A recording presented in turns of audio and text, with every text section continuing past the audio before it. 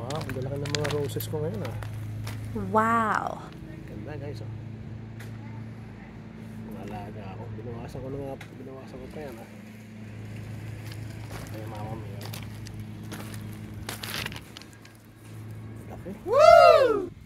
Yan na nagbunga ng nag bulak namin ganito kadadaki to guys.